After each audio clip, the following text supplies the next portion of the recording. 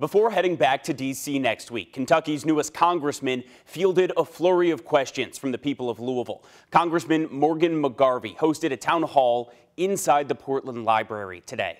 As Connor Steffen finds, the takeaways from that gathering are instrumental for McGarvey in forging his path forward in Congress. From Washington, D.C., straight to the Portland Free Library. Saturday's town hall was a chance for residents to bring their personal concerns to Congressman McGarvey one on one.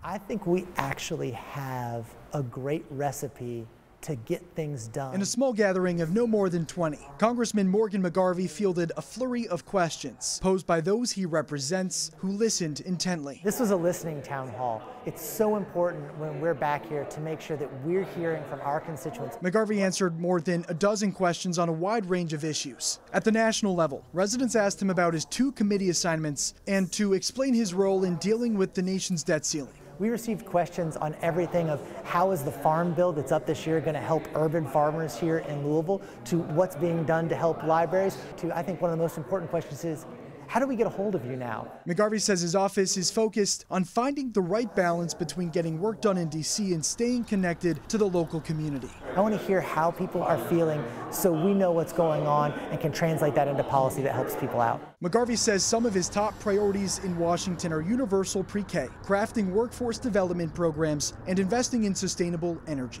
Thank you guys for coming out today. I really appreciate you being here.